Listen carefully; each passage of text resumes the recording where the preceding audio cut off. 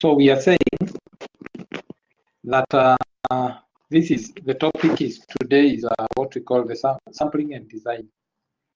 And in every topic, there is always what we call objectives.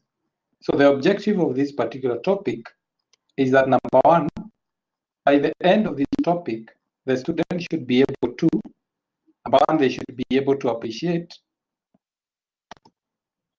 the sampling techniques that are available in communication research. So we have various sampling techniques of which we are going to, to look at, and they are actually classified into two sections, whereby we have the probability sampling techniques and non-probability sampling techniques. The second thing is that at the end of this topic, you must be able to define sampling, must be able to design what sample, I mean to define what sampling is. The second and the third thing is that you must understand the various sampling techniques and the way they are used. As I said, sampling is divided uh, into two broad categories, that is probability sampling techniques and non-probability sampling techniques. So if we look at those various under probability sampling techniques, what are the subcategories of that particular uh, I mean that particular sampling. And as, as far as uh, non-probability sampling techniques, what are some of the sub uh, the points for the the, the probabilities uh, the non-probability sampling techniques and uh, I mean uh, non-probability sampling techniques. What are we talking about? So we are going to list them down. The next thing is that by the end of this topic, you must be able to explain the importance of the various sampling techniques. So without wasting time, and I pray that uh, we can finish this topic so that we can go to the other topic. Is that uh, Hello, sir. Hear you Yes. clearly. you can't hear me clearly? Yeah. Can you now hear me clearly? Because uh, there is nothing I'm doing. Can you hear me clearly? Vincent, Uh, now I can hear you. so uh, we are talking about sampling techniques and uh, we are going to explain the importance of the various sampling techniques. And apart from that, uh, I believe that we'll be able to finish this particular topic so that we can go to the next topic. Remember, we have lost already two weeks.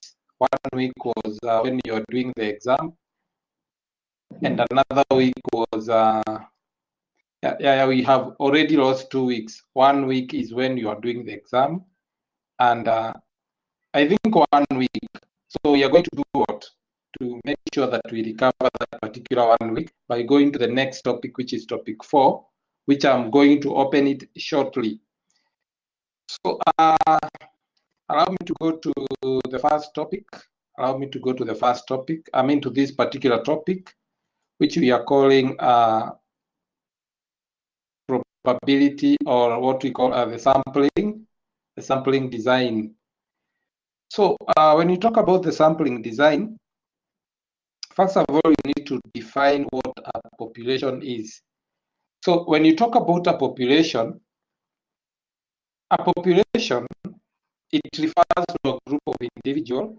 It can also refer to a group of events.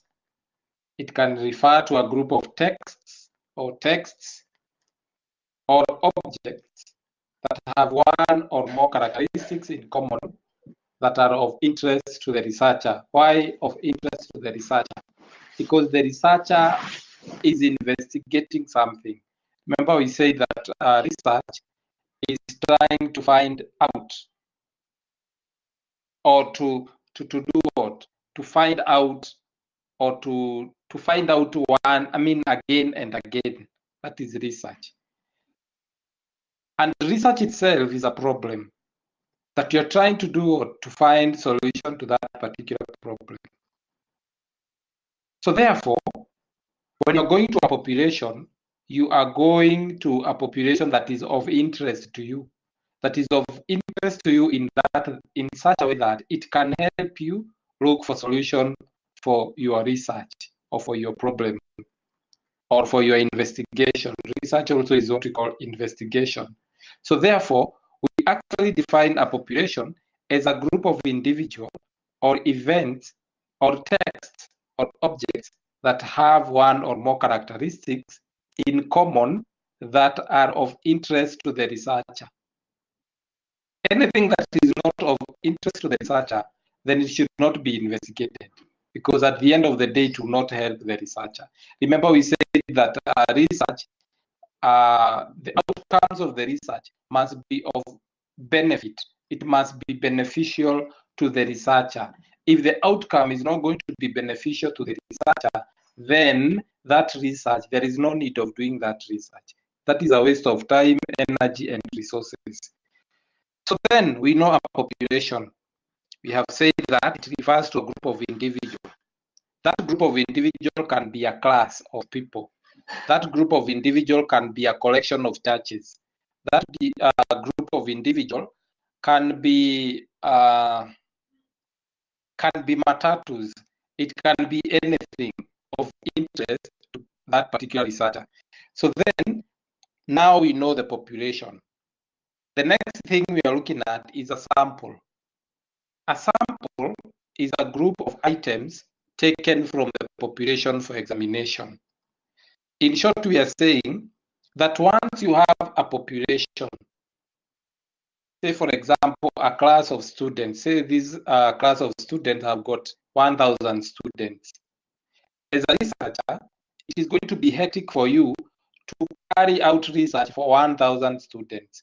So what you do, you come up with a way of taking a sample from them. So a sample is, is, is, is what we call as a unit of the total population. That unit of the total population is what you study, and after studying them, you generalize the results as the ones affecting the whole population. I hope I'm being understood. If you can't understand it, then you can raise your hand, or you can say you cannot understand. Eh? So we can say that a sample is a group of items taken from the population. Remember, the population is a group of individuals. And I've given a very good example of a class of people. Let's say, for example, a class of a thousand students. Now, when you have a class of a thousand students, you cannot study them, all of them. Why? Because there are so many for the researcher. So you do what? You select a sample from them. So a sample is a section or a unit of the population that when you study this particular sample, it is going to give you results. And the results that you get from a sample is what you generalize it to be affecting the total population. Like, for example, when you go to the hospital, the, the, the, the, the doctor does not do what? Does not, if you want to know what's affecting you, if you want to know whether you are, uh, you have been, uh, you are COVID-19 positive, God forbid, if you are COVID-19 positive, this doctor will take a sample from your blood. So he will take sample from your blood. He will take sample from maybe, for example, uh, your saliva. He will take sample from content from your your your nose, etc. So when they are studying this sample, this sample, they are going to give results about maybe your health, your your health. They're going to tell us uh, how how you are faring, whether you are positive or negative. But the doctor does not take the whole blood from your body because he knows uh, if he takes the whole blood from your body, then you're not going to survive. So he takes a sample of your blood and studies the sample, and he gets the result. So he generalizes he generalizes the result to the results that he get. He generalizes it as the ones affecting you.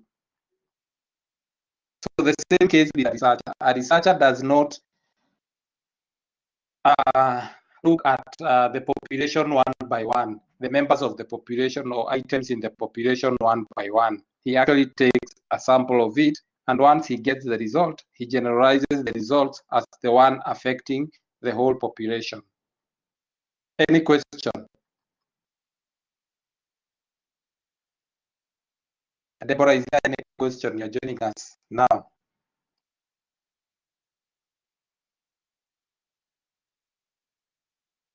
Deborah, is there any question? Not yet. What have you understood about a population and a sample? Uh, a sample is um, a portion of the population Mhm. What about the population? uh, specific characteristics, and the population uh, Mm. is like a group of people with similar characteristics or something. Yeah, that's what you have said. So if we have all understood, kindly inform the others, Akina Femi and all, I mean, Akina Femi, that the class is on. The class is on. I think uh, you can inform them via WhatsApp or, or anything. So we continue from uh, where we have stopped. So we have said that we've said that uh, a sample is a group of items taken from the population for examination. So this means that a sample should represent the population. So a sample is simply a small part or quantity which has been taken to represent the whole population or the universe. As it is obvious, even to, uh, to, to researchers, it is most often difficult to study the total population, just like we said, especially when the population is very large. For example, it is very difficult to study the total population of a typical Kenyan university. You can imagine that eh? A village, a clan, a town, or a city. While it may be difficult also, or even easy for one to do this in some kind of studies or operations. So therefore, science has offered us means of studying large populations without recourse to studying them individually. So instead of studying them individually, then there is a way that we can study the samples. There is a way that we can study the samples.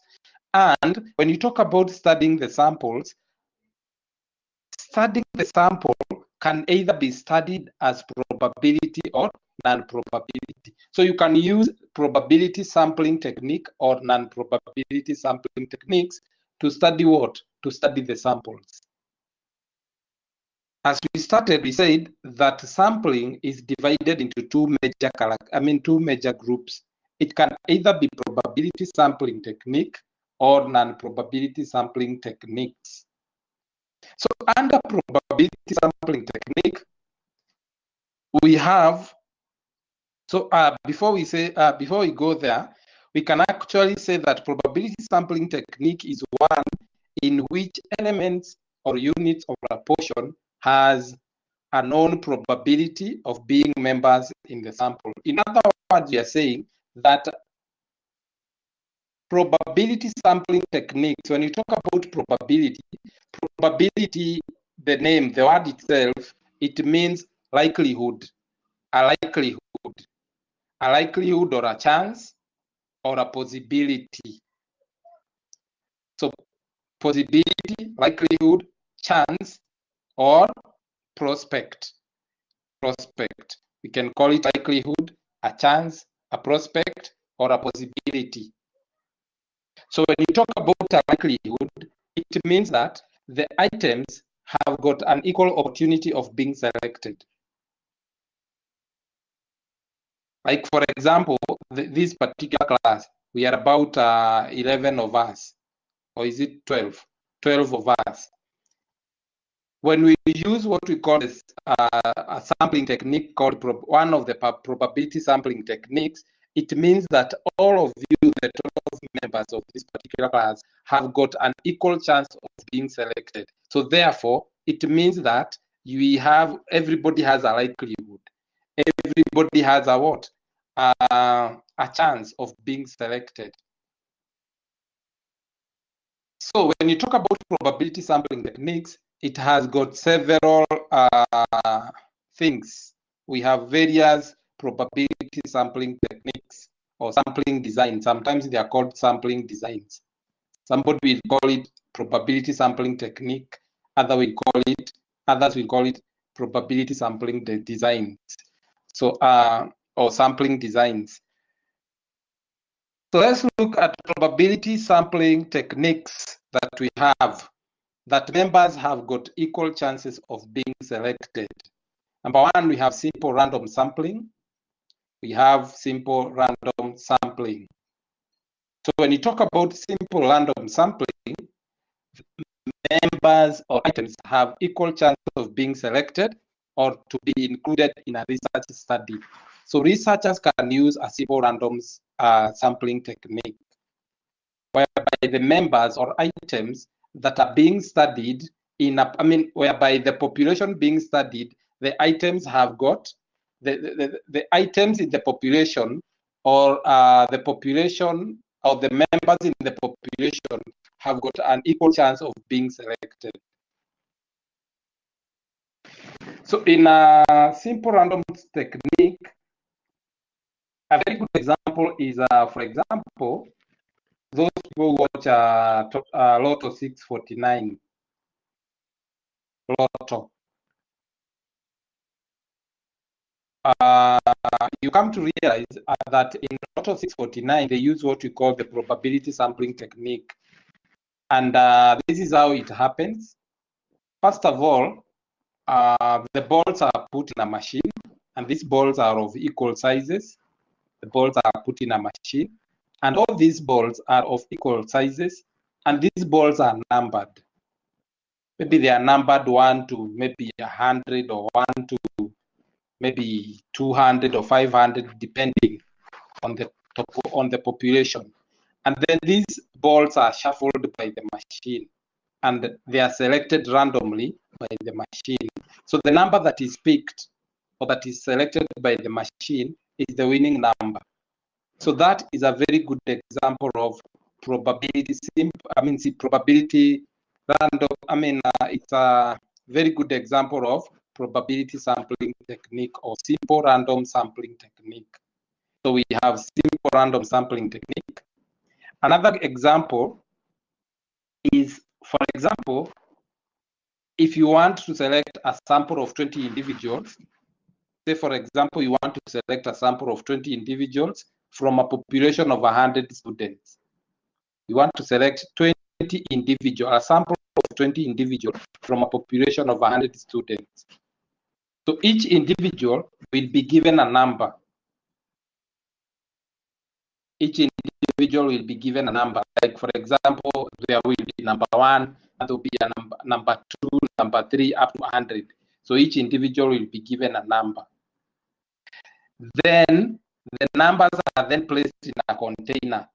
So if I give the numbers number one, two, three, four, five, up to 100, then I'll pick those numbers and I'll put them in a container. Then after putting them in a container, I will reshuffle the numbers. I will reshuffle the numbers.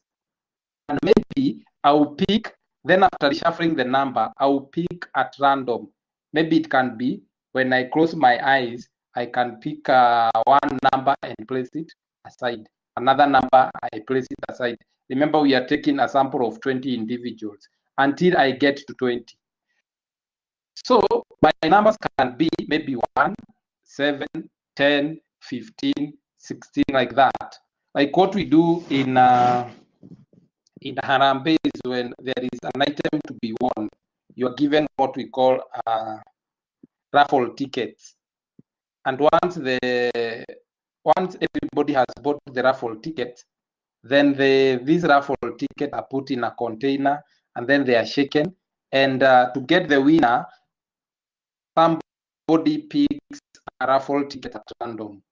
So that is where we say number maybe number three seven five zero has won maybe a vehicle or maybe a car or I mean a car, a bicycle or the item that uh, that was to be won or that is to be won.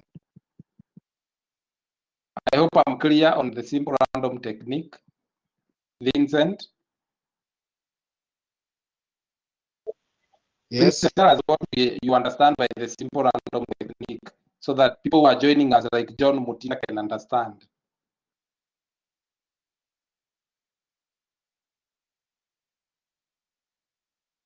What have you understood about the simple random technique? We are waiting.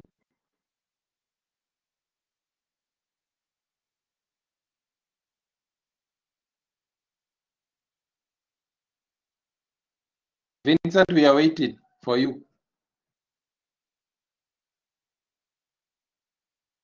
Oh, pardon my question, sir.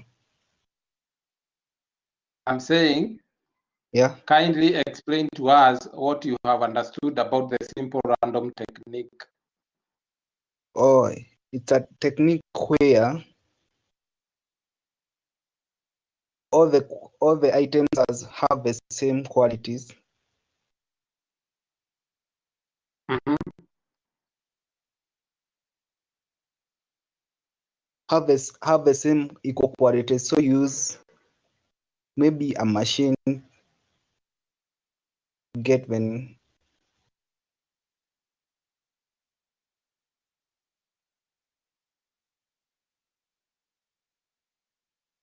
Vincent, you are breaking. Deborah, maybe you can explain to us.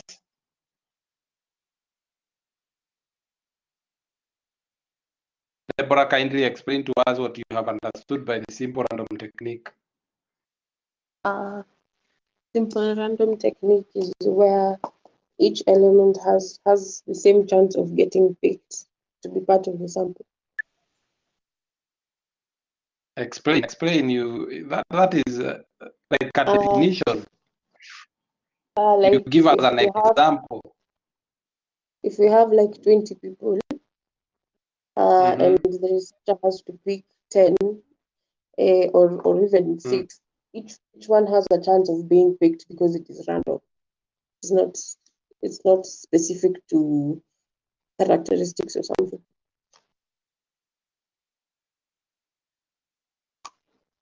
Okay, you are reserving some call. I mean, you are reserving some uh, explanation. I don't know why. So we have under uh, probability sampling techniques, we have said the simple. We have.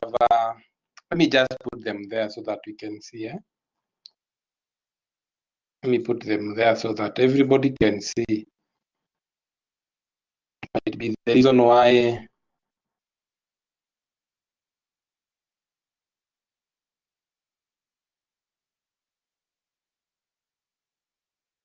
Might be the reason why some of us are unable to explain clearly.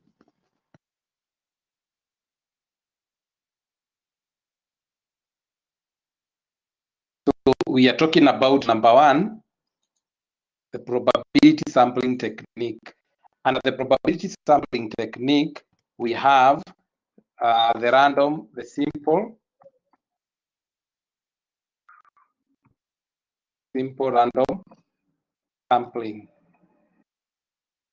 simple random sampling techniques, and call them design or techniques.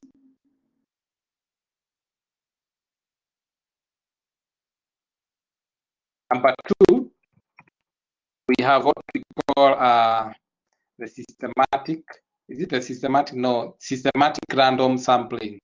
We have systematic random sampling. So what happens in the systematic random sampling?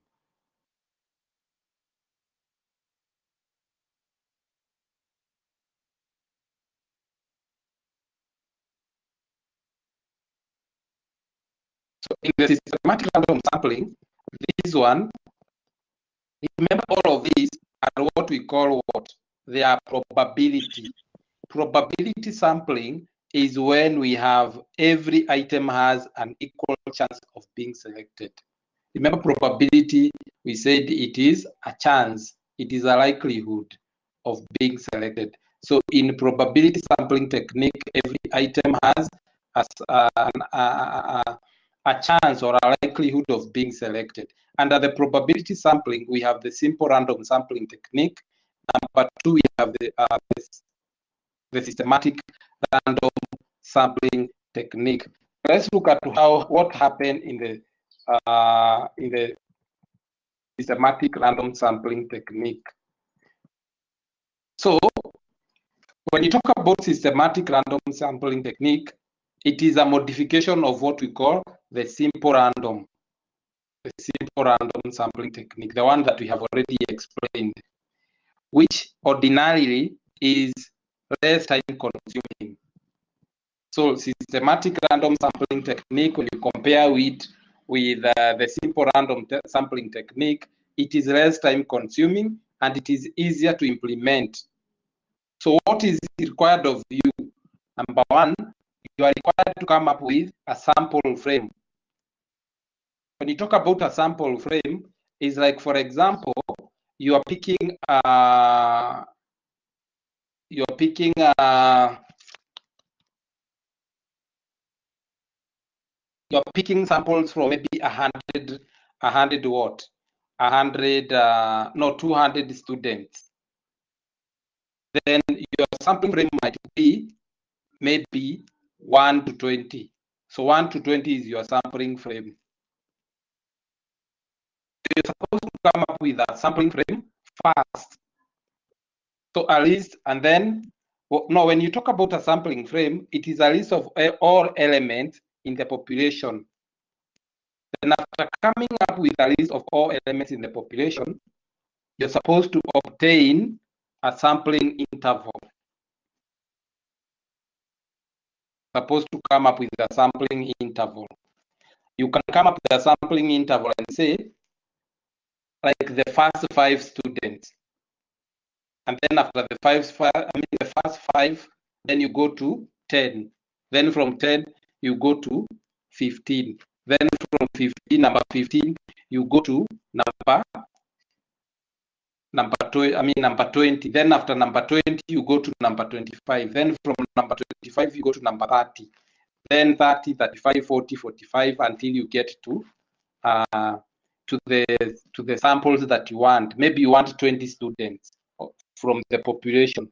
So you will take number five, then go to number 10, then go to number 15, then pick number 20, then pick number 25, because you are your what? Because uh, your sampling frame is 555. So that is what we call. You can even say my sampling frame will be number two. So you go to number two. After number two, you go to four. After four, you go to eight. After eight, you go to 10. 10, you go to 12. 12, you go to uh, 14. 14, until you get to uh, to, to select 20 uh, individual from the population.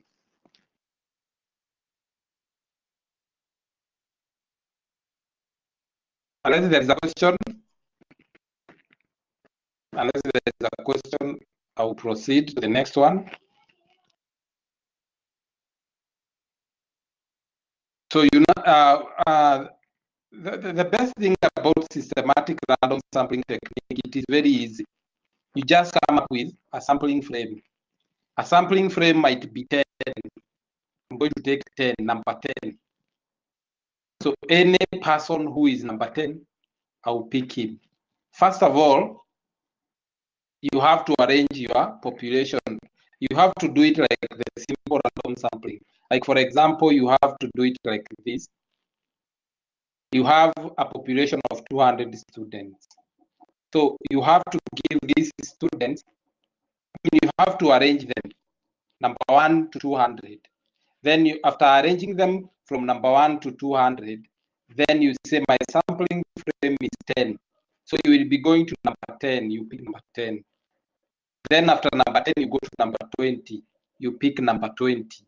Then uh, from number 20, you go to number 30 until you are done with the 200 students. Then whatever numbers you have, they will be your sampling, I mean, they will be your sample for that particular uh, population.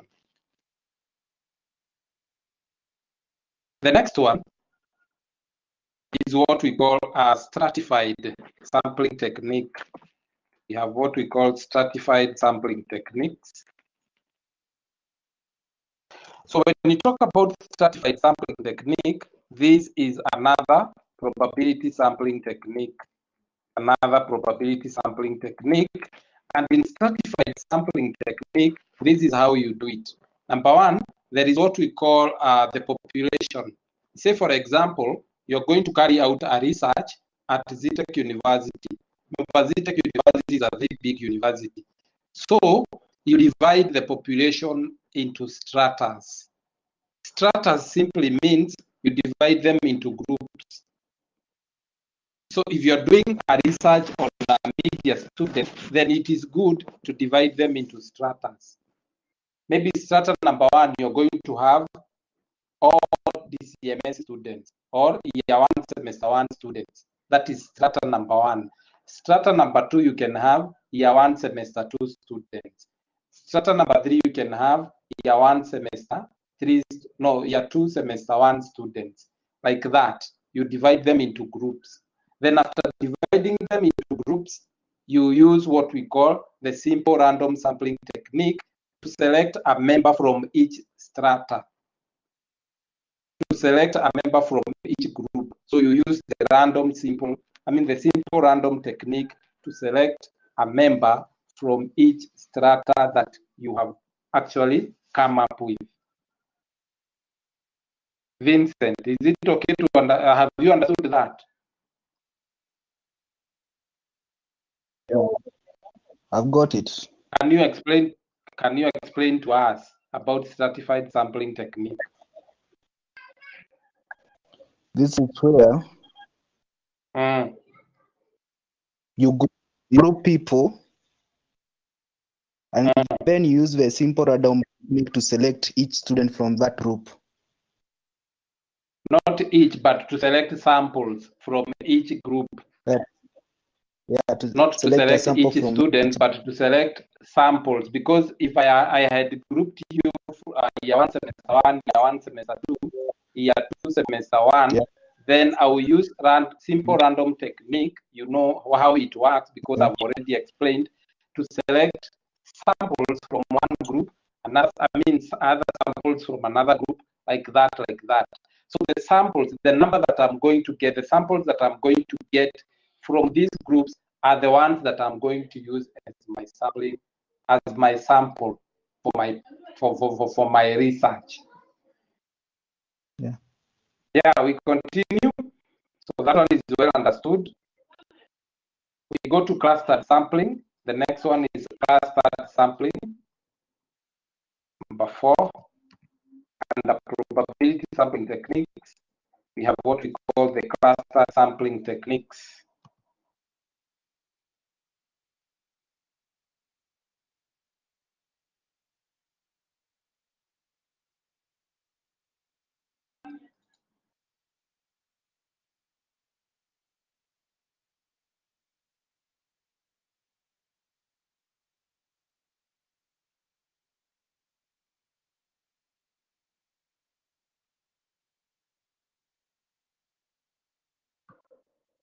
So number four, we have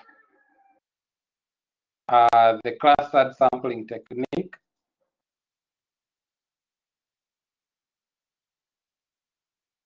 So in clustered sampling technique, it is uh, more or less like what we call the stratified. Not not no, this one is not like the stratified, but uh, the, the, the, the only uh, things that makes them look like uh, the, it is like the same is what we call cluster. So it is used where the population is sparsely distributed. Like for example, if you go to somewhere like like Tok Tok, or if you go to to interior part of the this particular country, those interior parts, like uh, maybe for example Turkana, uh, like Baringo, you come to realize that uh, there is a pop, I mean, uh, you come to realize that people are usually what we call sparsely distributed. They are sparsely distributed. You come to realize that a community is staying here, and then another community, maybe like uh, three kilometers from that particular area, then another community 1.5 kilometer from uh, this other one, etc., etc. So you come to realize that these communities are sparsely distributed. So those ones, we call them clusters. We call them clusters. And because we call them clusters, this population it's actually grouped into clusters, which becomes units of sampling. So these clusters becomes a units of sampling. So when you have the clusters, just like stratified sampling technique, we use the random sampling techniques to pick a what, to pick a sample or samples from each particular cluster.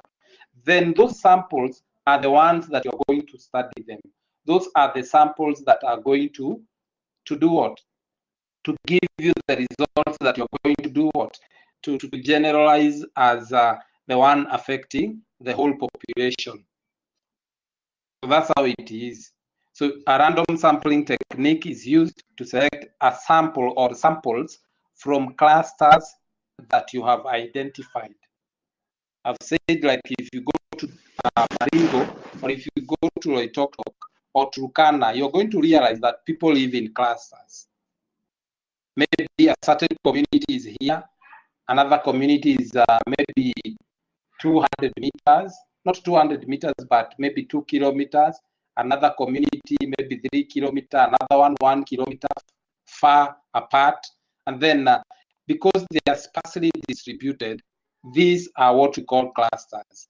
And for you to, study that particular population, you need the simple random technique. You go to every cluster. No, you go to every uh, cluster. You pick a sample using the random sampling technique. And that, that particular sample is the one that you're going to study. Or those that or those samples are the one that you're going to study. And the result that you're going to get is what you're going to generalize as the one affecting uh, that particular community.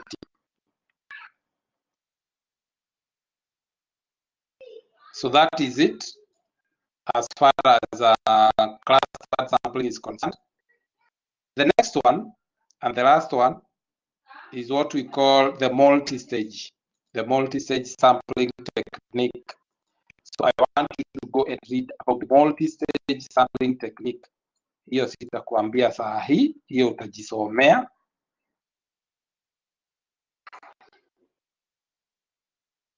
Don't know what is happening here.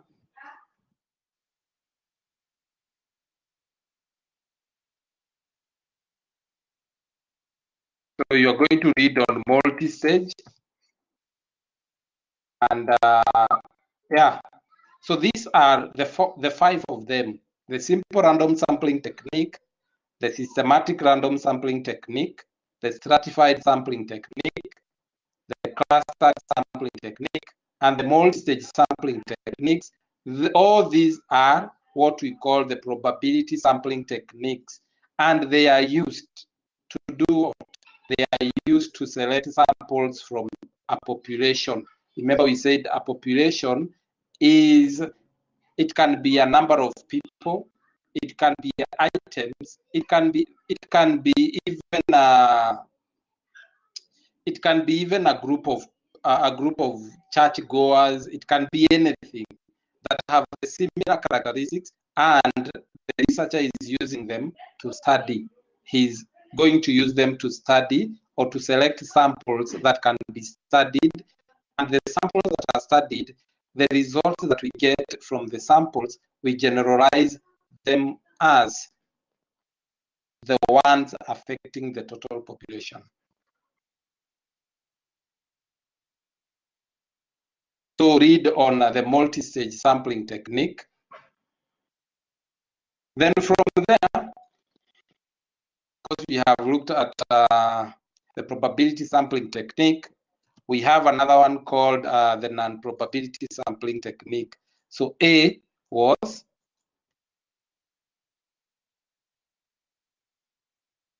probability sampling technique.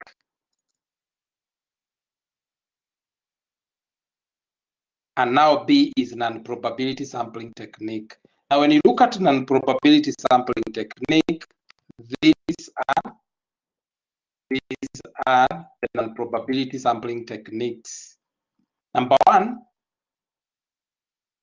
number one, we have what we call the purposive, purposive sampling technique.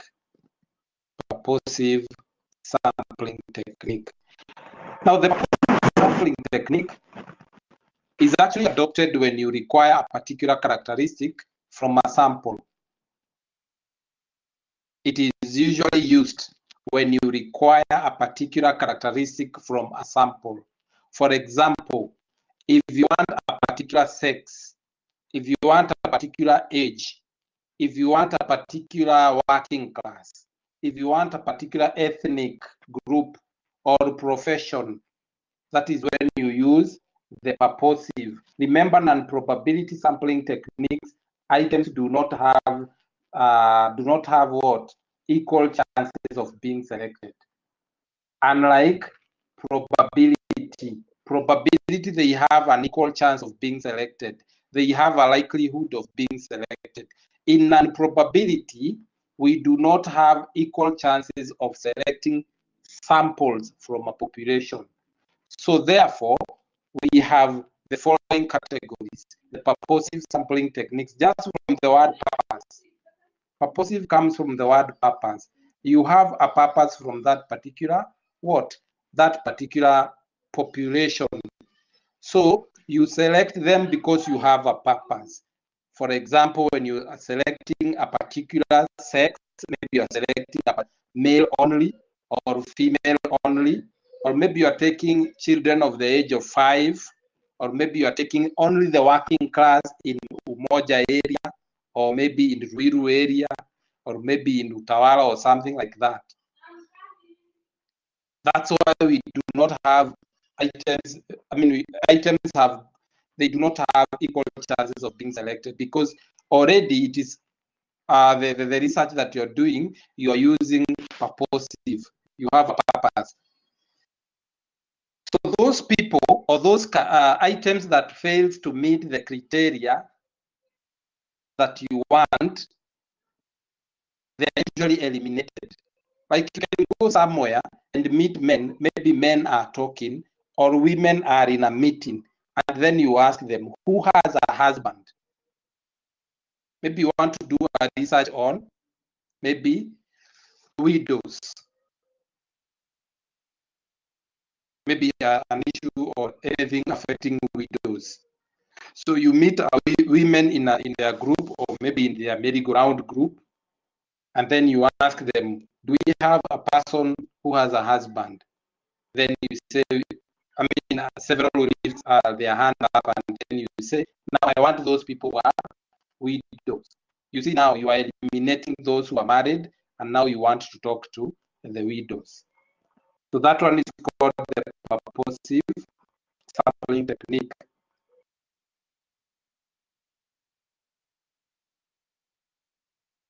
The next one is what we call the convenient sampling technique. We have the convenient sampling technique.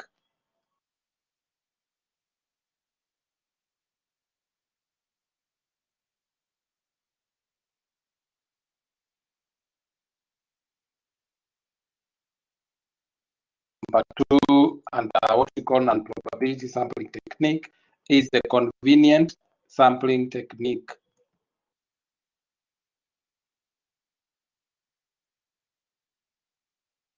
In the convenient sampling technique, it usually it consists of collection units, consists of colle uh, collection units, or it consists of you collecting units that are convenient to the researcher.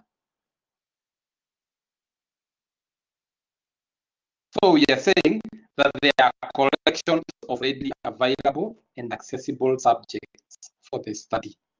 They are close to you. They are convenient to you. So sometimes it is called volunteer or accidental sampling. For example, when you want to do a research on a radio program, you may ask a few questions to radio listeners. You see now you're looking at what is convenient to you. If it is TV that is convenient to you, then you're going to ask questions on, I mean, on a on a on a TV program, or maybe if, for example, it is the internet that is convenient to you, or people that uh, work around you, they use more. I mean, they use internet more than radio and television. then that is what you're going to use. The, the people that you're going to use, I mean, you're going to use those people that are actually convenient to you. For example, let's say, for example, a radio program, you may ask a few questions to radio listener and tell them to take answer to certain places or to give you the answers. That is what we call convenient uh, sampling.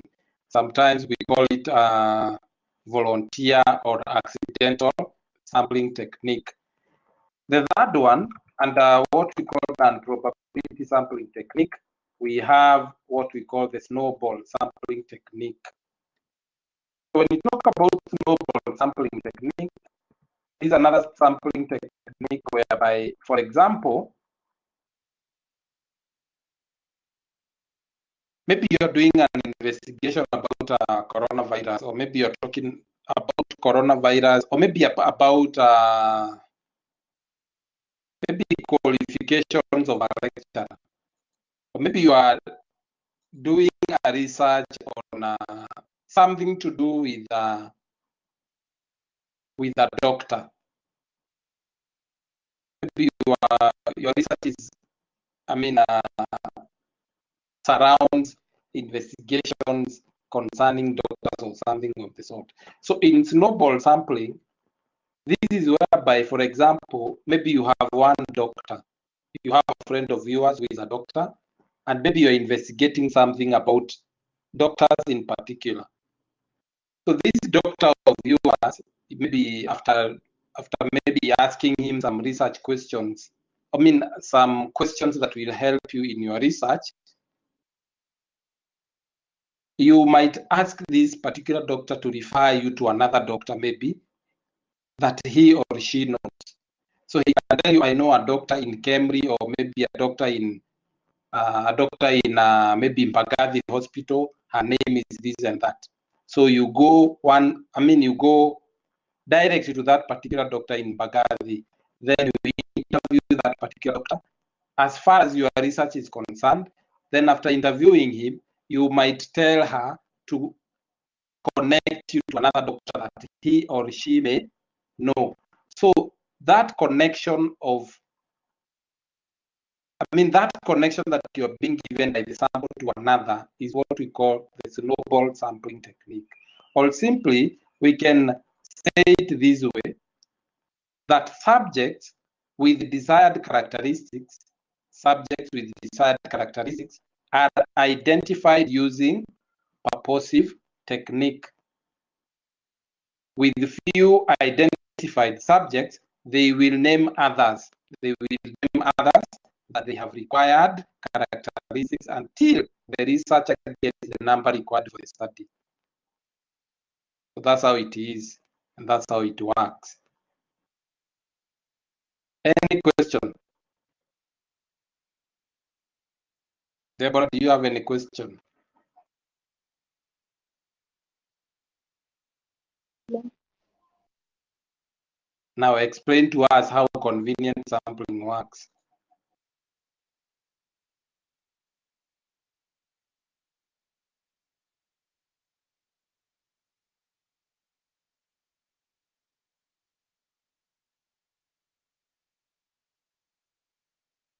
Deborah, we are waiting before we move on to something else. Uh, convenient sampling is, is, is, is a method of sampling that is convenient to the researcher. Uh, like co collecting information that is available to them or readily available to them. Yes. Now, I want us to look at uh, the reasons why we do sampling. Want us to look at the reasons why we do sampling. Number one, number one of the reasons why we do sampling is that there are similarities among the elements. There are similarities among the elements that make up a population we wish to study. So there are similarities among the elements that makes up a population we wish to study.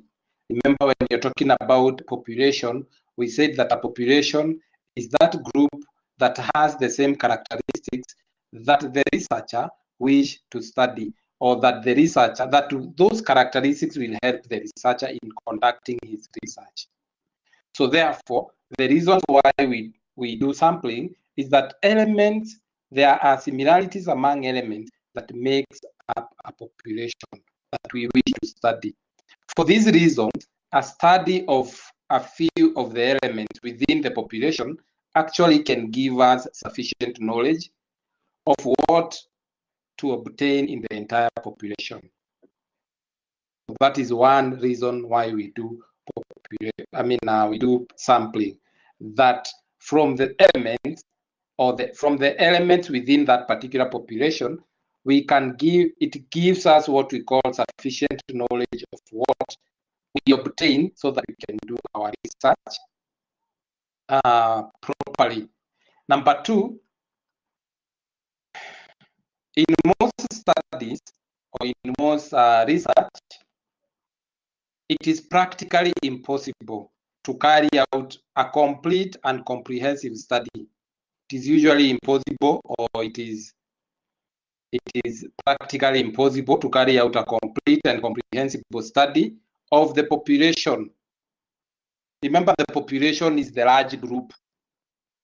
It is very difficult, for example, if you are conducting a research of a thousand, I mean, the, the entire universities in Kenya. You can imagine we have over 200 universities in Kenya, and maybe you're conducting a research on them. So it is very impossible for you to to every university and studying their characteristics and so on and so forth. Actually, it is limited to finances, to movement, everything, time, etc., etc. So it is practically impossible to carry out a complete and comprehensive study of the population because of the nature and pattern of distribution or dispersion of the element of the population. So you can imagine you are carrying out a study about universities.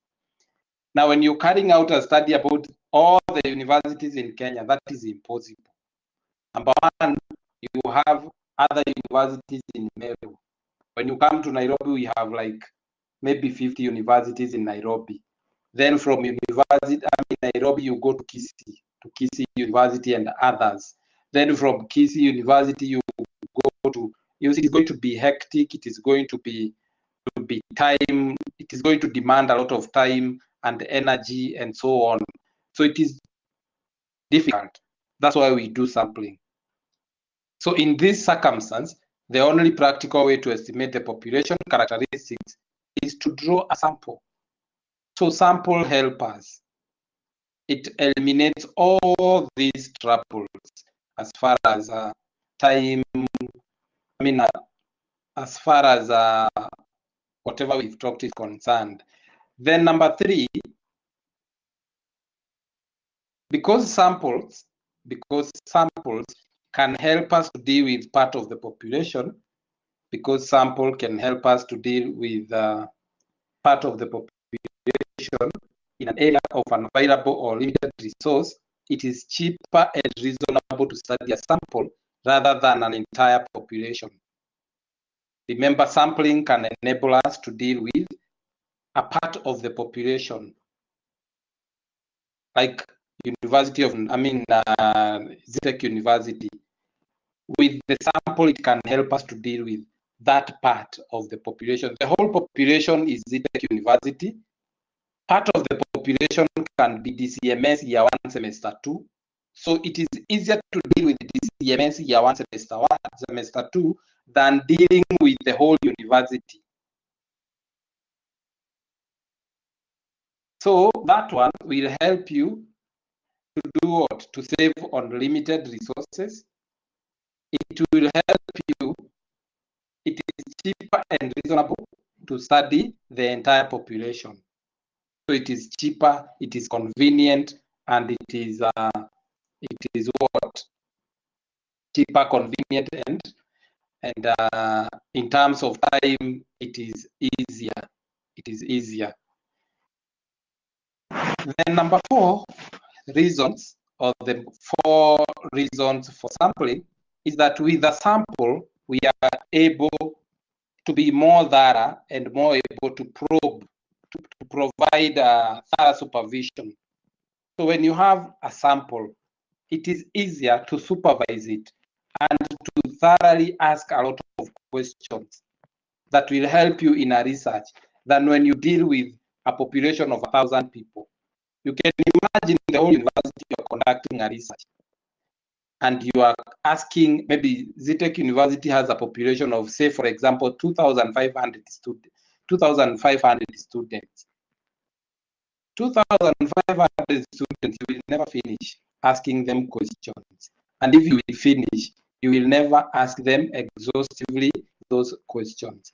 But with a sample of, say, for example, 50 students, or maybe 20 students, you'll be able to ask them thoroughly the questions and you're going to, uh, to study that particular population very well based on the 50 or the 20 samples that you get from the entire population of maybe 2,500 students. The next point, it enables us to obtain quicker results. It enables us to obtain quicker results as opposed to uh, uh, quicker results in our study than if we had to cover the whole population. So it is quick. And the last point is that it provides a greater accuracy because personnel of higher quality can be recruited. Can recruit a person of higher quality and give interest intensive training for the study. So it is what we call uh, it is interesting to do what it is interesting and it is accurate. Uh, if there is no question, I'll stop at that point. Then we go to the next topic. Kuna? Deborah. Vincent, is there any question?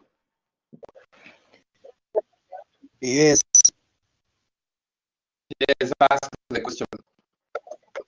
Oh, please explain the that of the normal probability sampling, the that point of the normal probability sampling.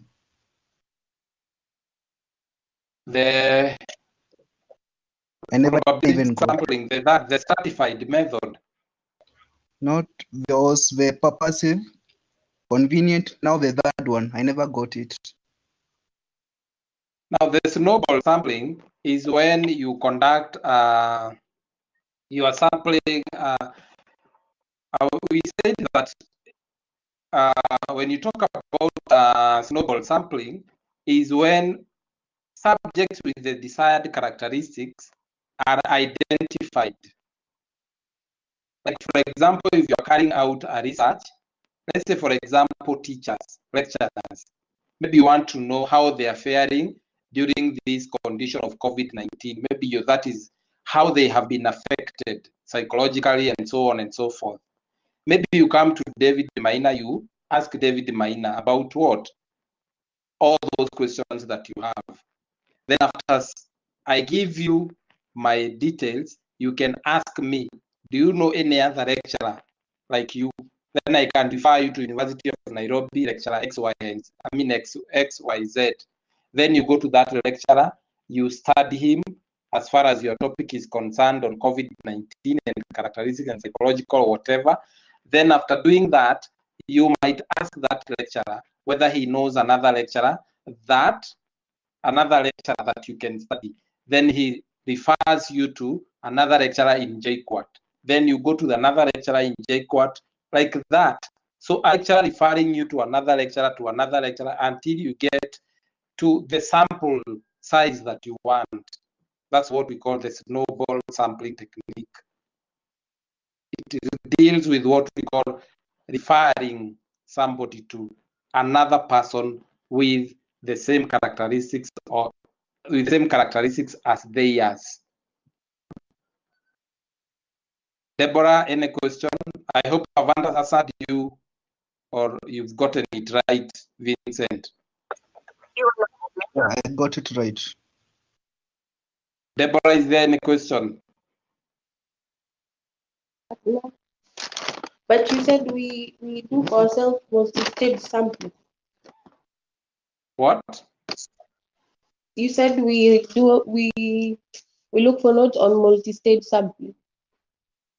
Yeah, you're supposed to read on multi-stage sampling technique. That is my assignment for you. Read on multi-stage sampling technique. Any other question?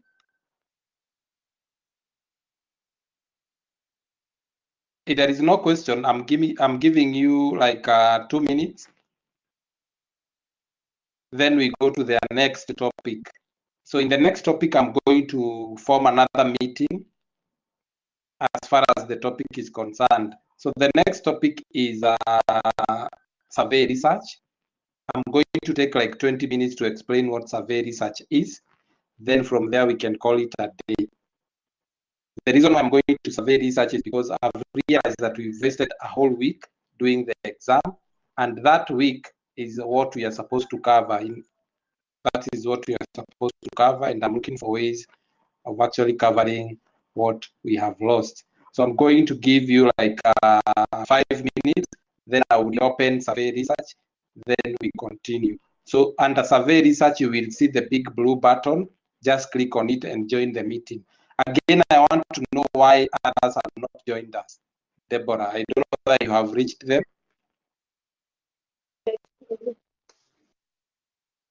Why, why are they not joining us? Is it the I'm not- issue of fear or what is happening? I'm not sure. Farming was supposed to join. He was supposed to join or he was bored. Anyway, let me tell you sampling sampling technique, eh, especially when you're doing your research eh, on chapter three of your research project, you'll be required to use the sampling techniques. You'll be required to use the sampling technique, and this is where confusion comes in. This is where confusion comes in. That is when you'll be finishing your you you'll be about to finish your your course. tutakutana na nyinyi na mtapewa research projects mfanye, na utakuwa utajipata ya kwamba haukumbuki hizi na nimekufunza leo. Anyway, let's stop the meeting and join the other one.